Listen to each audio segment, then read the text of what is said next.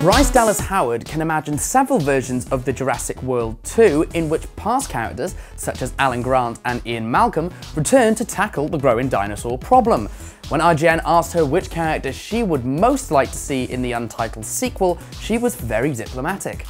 Uh, I should I should just say all of them because it's it's like that's so exciting the idea of these because these these these characters for the most part they're they're still you would imagine that um, that they're still around and they're still working and they and they have opinions of what's happening and um, and may or may not need to get involved in what's happening. So I could see I could see versions of the film where a, where a lot of the characters come back and and I, you know just as a fan of the franchise I would be totally stoked on that. I mean it's so cool that BD was was in this movie and you know I get just like any person who is a fan of the first film like I get such a a, a rush kind of imagining the possibility of characters coming back.